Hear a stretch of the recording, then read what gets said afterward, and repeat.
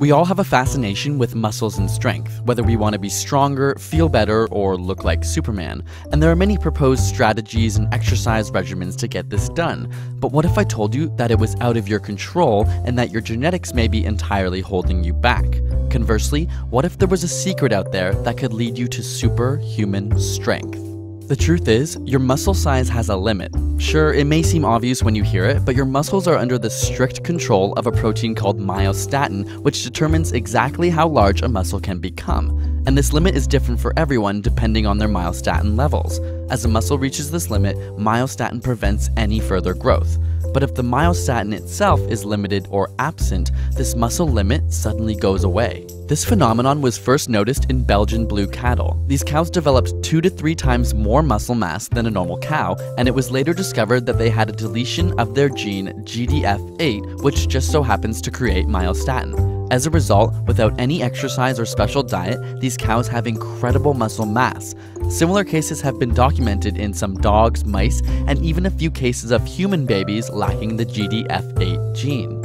These findings have helped scientists understand why some people bulk up easily while others struggle to. Lower levels of myostatin equals more muscle mass. In fact, some studies have even showed that many champion bodybuilders have naturally lower levels or even entire deletions of their myostatin gene. If you look at somebody like Arnold Schwarzenegger, as a teen he just looks naturally muscular. As such, perhaps many champion bodybuilders owe their success more to genetics than to training or drug use.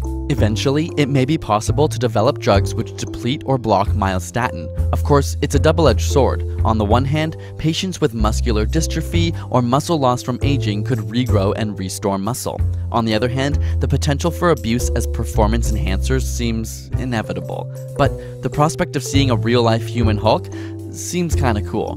Besides, should those who already have low levels of myostatin be considered to have an unfair advantage? It's hard to say. Regardless, be weary of anybody selling or promoting this unproven and unregulated treatment. At the end of the day, whether you have naturally low or high myostatin levels, remember, this is the level that is optimal for your mechanical and metabolic efficiency. With proper exercise and general health, you'll reach your own unique physiological peak. And while you may not be destined to pack a punch like Superman, you can push your own limits through training and hard work. But what if you could punch as hard as Superman?